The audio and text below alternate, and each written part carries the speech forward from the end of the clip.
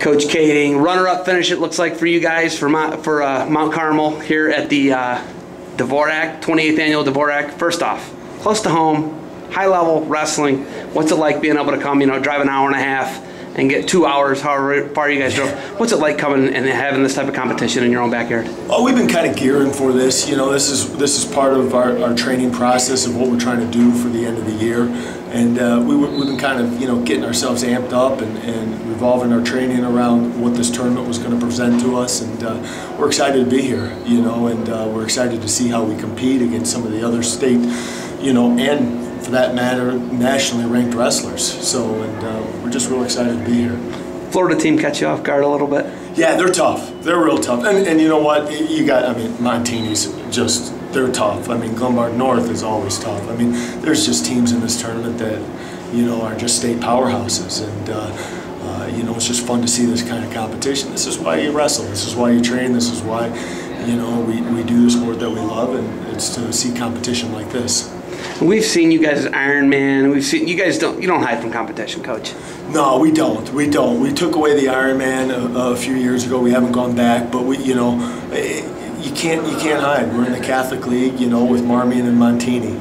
Uh, you know, we see so we see top level competition all during the year. You know, we see Lockport, we see we see all these tough teams that are in the state. We saw uh, Lincoln Way West and and uh, Crystal Lake Central at another tournament that are uh, state ranked, uh, you know, 2A teams. So we try not to avoid the competition, and uh, we try to mix competition into what we're doing training wise, because ultimately February is what counts looking at you know you guys' state tournament series, you guys recently, I think the last three years, you went to three divisions, right?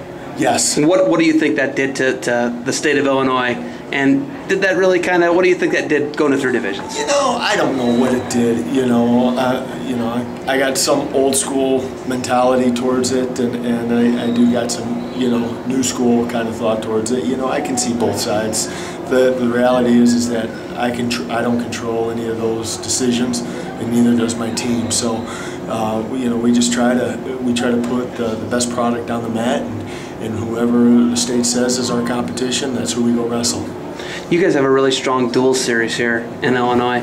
I like the dual series. I like duels. I'm a fan of duels. How are you guys as a dual team? We're actually very good as a dual team. I think we're very solid, and I agree with you. I think that's what our, our, our sport in general is missing. Uh, it's the it's the lack of a really team concept I think uh, sometimes it, uh, we get caught up in the individuals, but in order for our sport to survive, I'm a firm believer that the team aspect has to survive. So I look forward to it. I know um, we prepare, the coaching staff prepares our guys for the team aspect of what's ahead looking at the Ohio teams, the Iowa City West team, and the, uh, the Florida team, what do you think out of state people are thinking when they leave this tournament?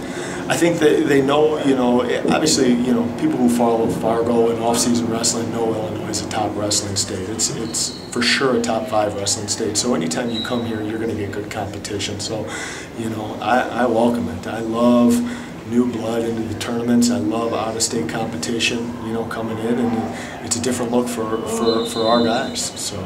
What do you try and push Mount Carmel guys? Illinois, Northern Illinois, you try and keep them in state do you? Uh, you're in Oklahoma. You're a Sooner. Yeah, Boomer, to, right? I went to I went to the University of Oklahoma. So, but I'm originally from Illinois. So, you know, um, I don't.